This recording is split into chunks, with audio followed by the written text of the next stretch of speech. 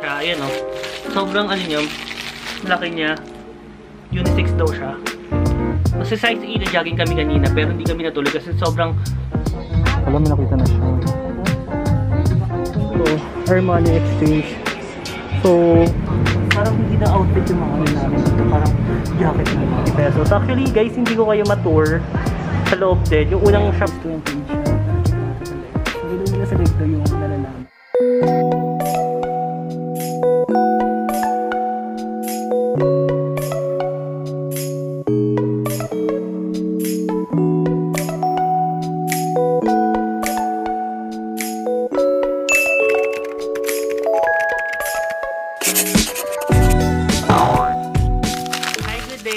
Mark and welcome to another video. So, for today's video, magkakaroon naman tayo ng another challenge. So, actually, yung challenge na to, may kasama ako. So, alam kong kilala nyo na siya, si Michael, yung bestie ko. So, yung challenge na to, ay actually simple lang. Pupunta kami sa isang ukay-ukay. So, somewhere in Makati yata yun. So, um, basta pupunta lang kami sa ukay-ukay and then magkakaroon kami ng challenge doon. So, yung challenge doon is, meron kaming budget na 1,000 pesos. Pero yung 1,000 pesos na to, kailangan makabuo kami ng tatlong outfit. Actually, yung tatlong outfit na yon, ah, wala namang specific na kailangan is formal, office attire, walang mga ganun. Walang specific talaga. So, maghanap lang kami doon ng tatlong outfit. So, syempre, try muna namin linisan or labhan.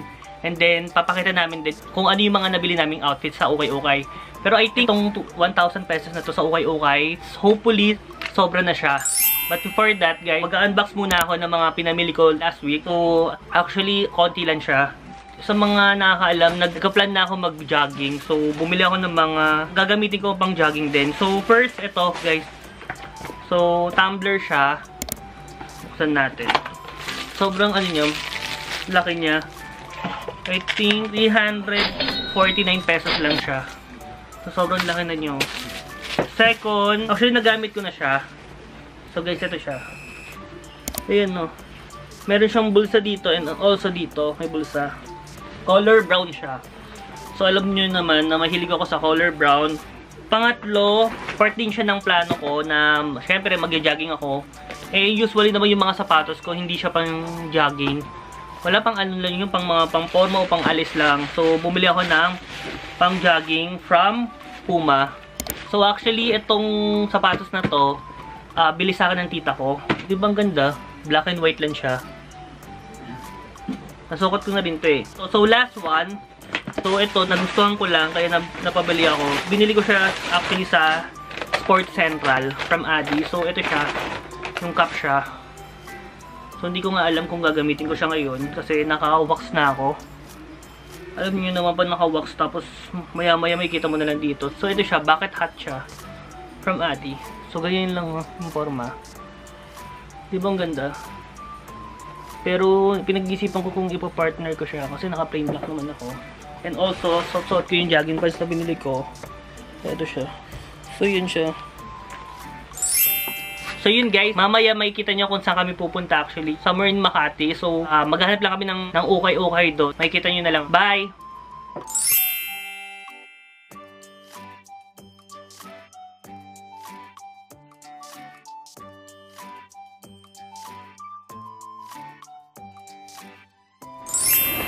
Nandito na kami sa Makati. So kasama ko na si Michael. So hanap lang kami ng ukay-ukay dito. Dito na kami sa may ukay-ukay sa may Makati. Pero pumasok na po tayo. Hmm.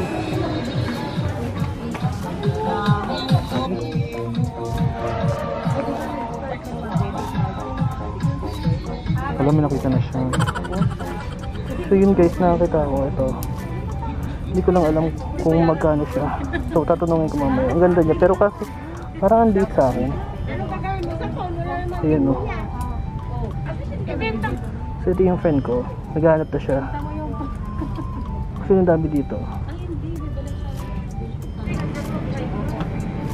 Parang hindi na outfit yung mga ano namin dito. Parang jacket na lang. Mag-haul na lang kami dito.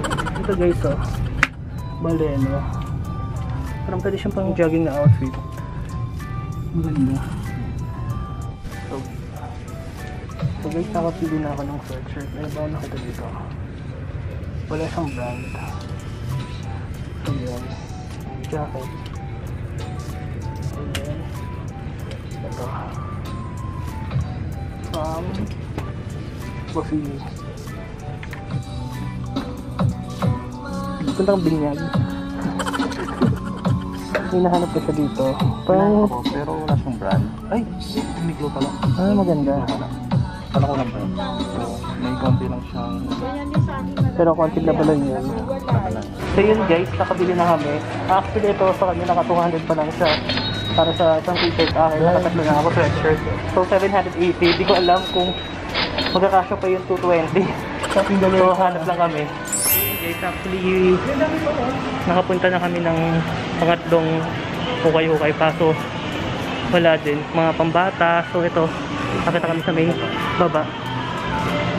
So try kami ulit. So yun guys. Ito pa rin outfit ko. Nakachinelas lang ako. And then yung jogging pants. And then oversized na black shirt. So ito yung mga pinamili ko na. So naghahanap na lang ako ng pang ibaba dito kaso ang budget ko is 280 pesos actually guys hindi ko kayo matour sa loob din yung unang shop lang yung pinuntahan namin kasi ang lakas ng music nila baka makapiright ako sobrang lakas ng music nila baka hindi nyo rin ako marinig Yun guys, um, panglimang shop na namin to pinupuntahan. So kung masipag ka lang talaga, makakachamba ka dito. Kasi may mga kakilala ko talaga na nakakahanap ng mga outfit dito. Tsaka original. So yun guys, tulad nito, ito, Armani Exchange. So, maganda sana siya guys. Oh. Kaso, ang size niya is extra small. Eh, di ba medium type ako. So, kung masipag ka lang talaga, makahanap ka ng original. So guys, uh, actually size 28 siya, pero check natin sa leg. Nabili nila sa leg daw yung nalalaman size. Ito, hindi ka siya sa akin. Sabi na ako yung tamang pagsukat sa yung ganito. Ay, ganyan? Tapos may... Tapos ko daw. Kasha? Ah, may konti ano na lang. Pero feeling ko okay na to. So, guys, nakabi ulit ako ng another short. So, black na lang siya. Hindi ko alam kung ipapartner ko na lang siya sa lahat. Kasi black naman siya. Akala ko ako ate. so, yun guys. So, meron na lang akong 90 pesos. So, try ko pa makakabili para sa 90 pesos. Guys, ang ganda na ito. Parang mayroon pang sabitan dito ng ewan ko kung susi ata to. Kaso, nasa 125 bata siya. Hindi ako sure ah. Kung 125 to. Ang ganda niya. So, ito siya.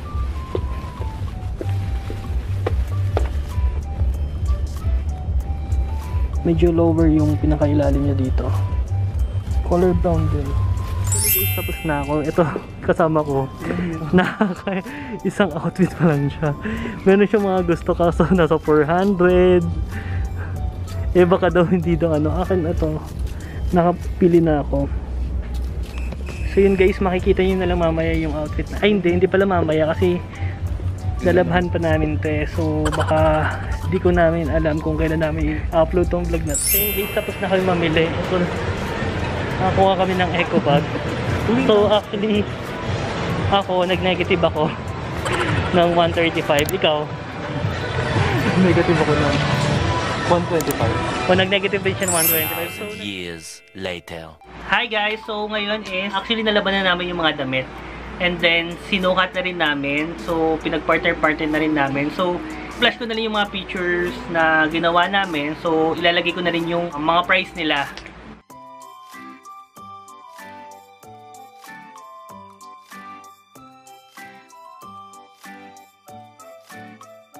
So yun guys, ma-advise ko lang sa mga gustong mag-ukay-ukay. So first is maging matyaga lang talaga kayo kasi sobrang dami ng damit nila, kumpul-kumpulan. Marami kami mga nakikita mga branded. Kahit sabihin natin na second hand sila, galing sila sa ukay, pero andun pa rin yung pangalan kasi yung brand. So yun, maging matyaga ka. At the same time, huwag ka mag-stick sa isang store lang. Kasi for example, sa isang store, punta ka lang doon, binili mo na lahat doon.